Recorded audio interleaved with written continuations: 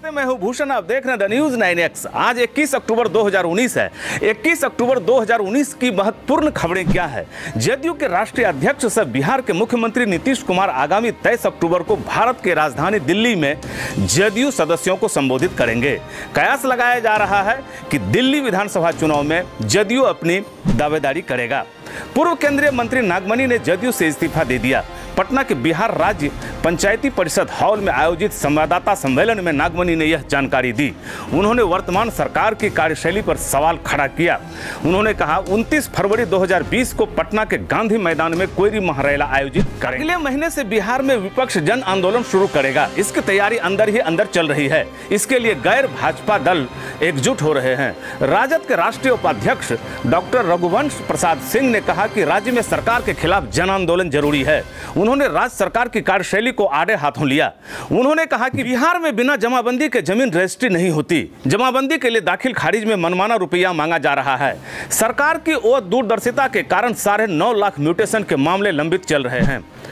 कांग्रेस ने बिहार केसरी के रूप में चर्चित रहे बिहार के प्रथम मुख्यमंत्री श्री कृष्ण सिंह को भारत रत्न देने की मांग उठाई है। पटना के सदाकत आश्रम में कांग्रेस के डॉक्टर अखिलेश सिंह ने प्रेस कॉन्फ्रेंस कर उक्त बातें कही। उन्होंने कहा कि श्री बाबू स्वतंत्रता आंदोलन में सबसे आगे रहने वाले में से एक थे। बिहार के विकास में उनकी अहम भूमिका थी। श्री बाबू बिहार के पहले इंसान थे जिन्होंने देवघर में दलितों के प्रवेश पर बंदिश तोड़ा और दलितों को मंदिर में प्रवेश कराया। पूर्व सांसद सह जन अधिकार लोकतांत्रिक के अध्यक्ष राजेश रंजन उर्फ़ पप्पू यादव जहाँ भी आम लोगों को परेशान देखते हैं, वहीं उनकी सहायता करने चले जाते हैं। एक पखवाड़े से पटना के जल जमाव में फंसे लोगों की सहायता के बाद वे जहानाबाद पहुँच गए और वहाँ दो पक्षों के बीच हुए झड़प और आगजनी के पीड़ितों को दस दस हज़ार तत्काल सहायता राशि दिया। राजद सुप्रीमो लालू प्रसाद की सेहत अच्छी नहीं है। रिम्स में इलाज सही नहीं हो रहा है। लालू प्रसाद से मिलकर लौटने के बाद उनके पुत्र से बिहार विधानसभा में प्रतिपक्ष के नेता तेजस्वी काफ़ी गंभीर दिखे। उन्होंने कहा, अगर बेल हो जाता तो उनको हायर हेल्थ सेंटर ले जाते। हेल्थ के आधार पर ही न्यायालय में बेल के लिए आवेदन भी दिया गया है। पूर्व लालू प्रसाद से मिलने डॉक्टर रघुवंत प्रसाद सिंह भी गए थे। उन्होंने भी लौटने के बाद लालू प्रसाद की सेहत पर चिंता जताई थी। इस बार की दीपावली पुलिस और सुरक्षा एजेंसियों के लिए काफ़ी चुनौती भरा है। दीपावली में आतंकी बड़े विस्फोट की तैयारी में हैं। खुफिया सूत्रों ने यह जानकारी देते हुए राज्यों की पुलिस को अलर्ट कर दिया है। चर्चा है कि नेपाल के रास्ते आतंकी घुस सकते हैं। कहा तो यह भी गया है कि अभी तक पाँच आतंकी घुस चुके हैं। इस लिहाज से इंडो नेपाल बॉर्डर पर सुरक्षा व्यवस्था कड़ी कर दी गई है। आने जाने वाले वाहनों की गहन जाँच कराई जा रही है। एयरपोर्ट रेलवे स्टेशन समेत सभी भीड़ भाड़ वाले इलाकों पर पुलिस की कड़ी नज़र है। दीपावली में आतंकी हमलों की सूचना के बाद बिहार के राजधानी पटना में भी अलर्ट जारी किया गया। इस मुतलिक पटना में भी गहन जाँच चालू कर दी गई है।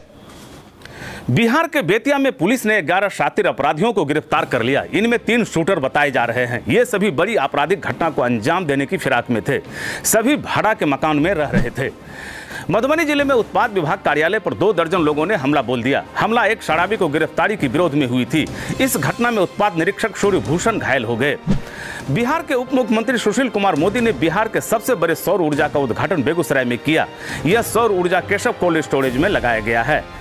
पटना में पुलिस को नकली नोटों का कारखाना मिला है। वहाँ से नकली नोट व कई सामान मिले हैं। दो लोगों को गिरफ़्तार भी किया गया है। उनसे पूछताछ जारी है।